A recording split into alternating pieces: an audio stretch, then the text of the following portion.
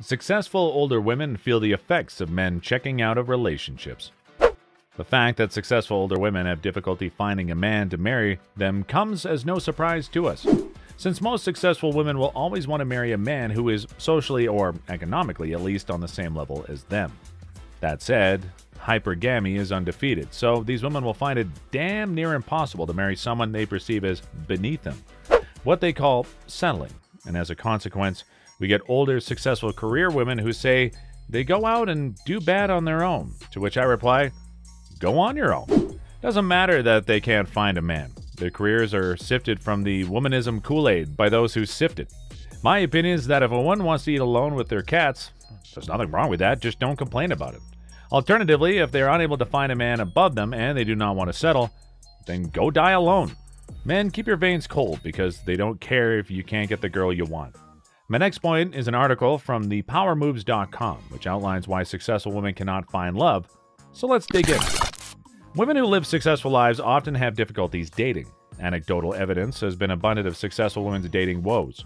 Are you familiar with Jane? She's smart, accomplished, and has a high income, but she can't find and keep a good man. Apparently, there are millions of successful Janes around the world. How can that be? 1. Her dating pool shrinks the higher she goes. To begin with, let's focus on the most obvious reason. Hypergamy is more prevalent in women than in men. Basically, they prefer men who are better than themselves.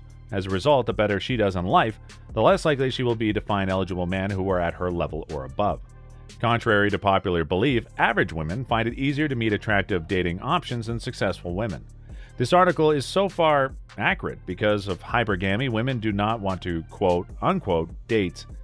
In reality, women don't realize that the more money they make, the less men will qualify for them.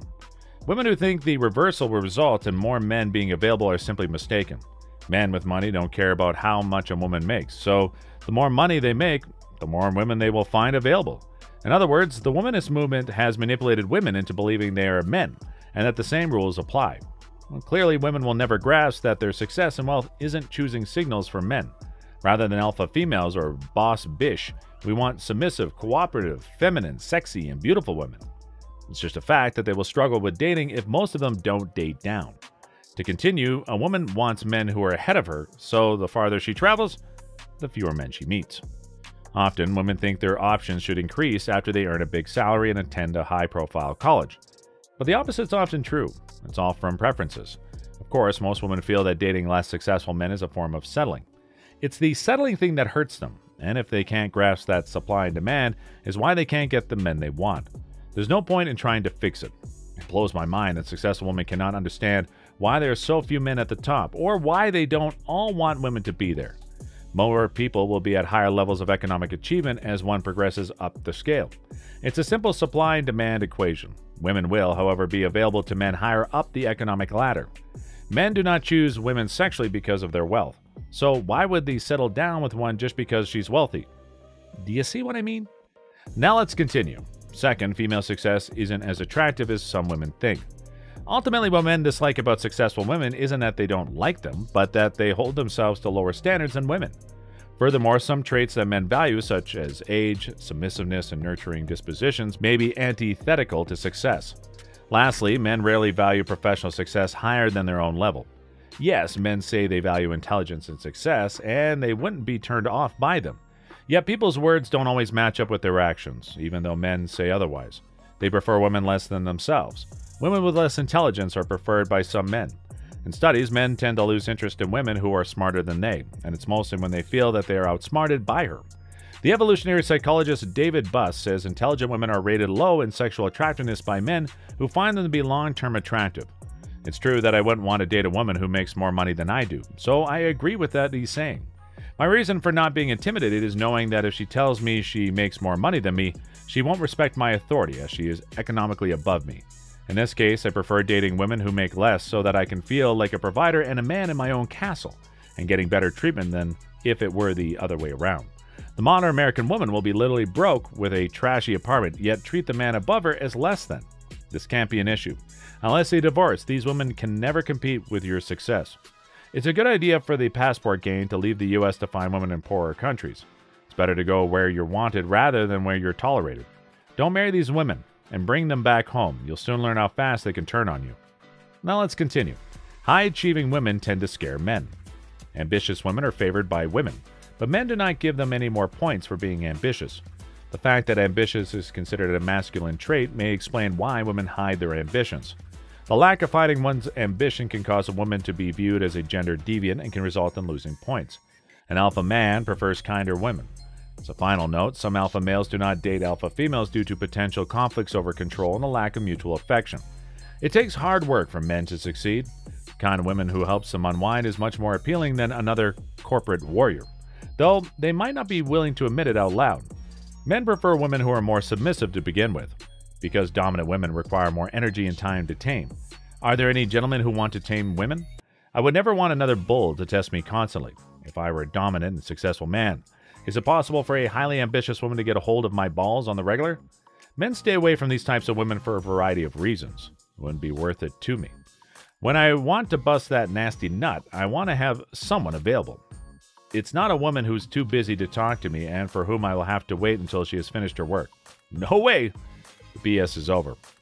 Anyway, let's proceed. Women who are less dominant are preferable to many men. Men prefer more submissive women, while women prefer more dominant men. Most successful men share this trait, which is why you see tycoons with modest wives. Majority men prefer women who earn less than they do. Even though time and culture has changed, most people still don't believe her earning more is okay. Statistics show that men tend to marry women with lower incomes. Well, women tend to marry men with higher incomes if you prefer. It can never be changed by shaming men for wanting older women who are successful. Women who are more feminine are typically dated by highly successful men because they are broke and beautiful. Anyway, let's continue. High quality women are in oversupply. Good men are few and far between, goes the cliche. It sounds cliche, but is it really? The truth is, well, it's not. Successful women don't have to worry about that. Women who are successful have a harder time finding men. It is subjective to define success as well as high quality. However, women are kicking men's asses in many areas that qualify them as high quality.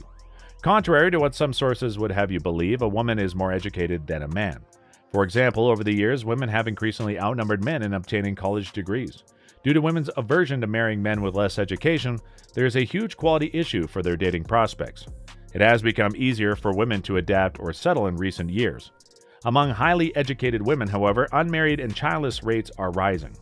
As women are becoming more and more educated in the United States, more and more women are beginning to be seen outside of the average man. However, if they want to rack up student loan debt they will never be able to repay and remain debt slaves for the rest of their lives, they can do so. Feel free to do so. Let ladies become slaves to their corporate careers and stop complaining that there aren't enough men making as much money as they do. Deal with the fact that you are high earners and humble yourselves.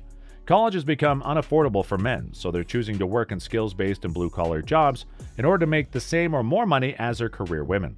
In spite of this, these men aren't wanted because they are viewed as beneath them due to their lack of college education. I guess ladies will have to die alone. I'm done. It'd be foolish of you to ignore a plumber who makes six figures because he does not work at the corner office in the big skyscraper. The reality is that you'll not receive what you want in the end. Anyone who works hard, such as plumbers, electricians, carpenters, masons, truckers, or contractors, deserve respect. Big ups to those men who show up every day and contribute their expertise to the creation and maintenance of society if it wasn't for them.